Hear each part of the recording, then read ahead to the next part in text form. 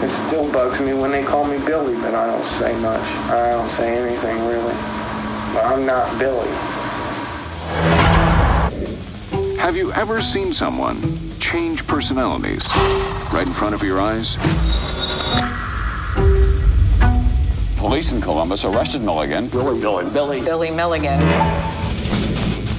All right, ladies and gentlemen. So Billy Milligan was the Ohio State University rapist who allegedly had 24 mental different personalities. Um, it's a real big Netflix series right now. Some of you may have seen it. If you haven't, you might want to check it out because we're going to definitely um, have a lot of reaction videos coming up in the next coming videos on this channel. Um, we're going to talk about that for a minute.